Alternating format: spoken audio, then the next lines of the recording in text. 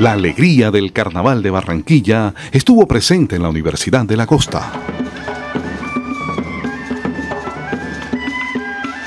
Inicialmente, la Vicerrectoría de Bienestar Universitario, en las instalaciones de la universidad, realizó una rueda de cumbia, en la cual participaron la reina de las marimondas Cook 2016, Mónica de la Hoz, estudiantes y funcionarios de la universidad.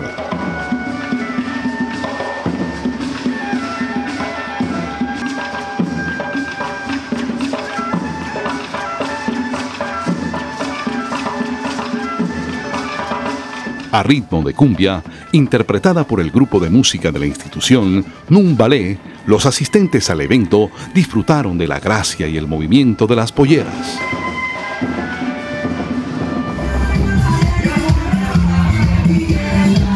Posteriormente, el domingo de carnaval, la comparsa de las marimondas Cook con su acostumbrado colorido y gozadera que los caracteriza, hicieron parte de la gran parada Carlos Franco del Carnaval de la 44 que como todos los años, en estas festividades carnestoléndicas, realiza un recorrido desde el Parque Olaya hasta la calle 47.